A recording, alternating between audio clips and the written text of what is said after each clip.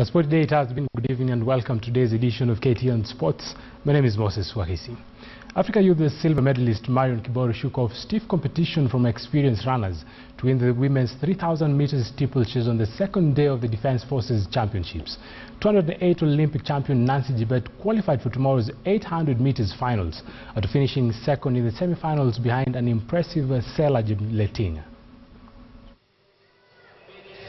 The women's 3,000 meter steeplechase race was the only final during the second day of the Defence Forces Athletics Championships at the Moi International Sports Centre, Kasarani. Only seven athletes started in the water and barrier race, with the reigning World Military Games champion Mercy Njoroge being the pre-race favourite.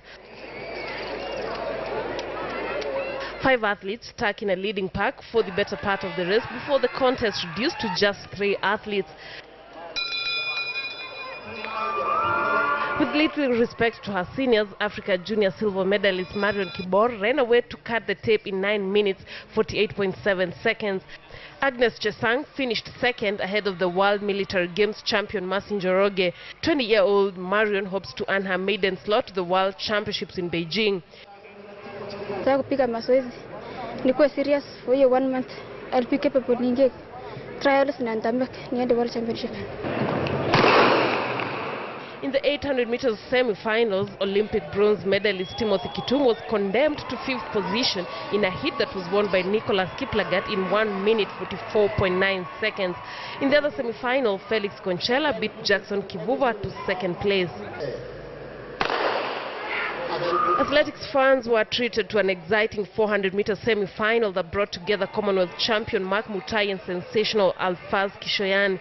Kishoyan was the better sprinter qualifying for the finals in 46.26 seconds ahead of Mutai. So I'm grateful that uh, as I exit from the 400 meters, I have the new talents, the likes of uh, Kishoyan, Moresa, and even Musheru who have been showing uh, good signs that they will come and pick up from where we, we left. In the 800 meters women's semi-finals, 2008 Olympic champion Nancy Jebet Lagat was beaten to second place by Sela Chepleting, while Elizabeth Kemboi was third. The championships concludes on Friday, after which a team to the national championships will be named. Lynn Washira, KTN.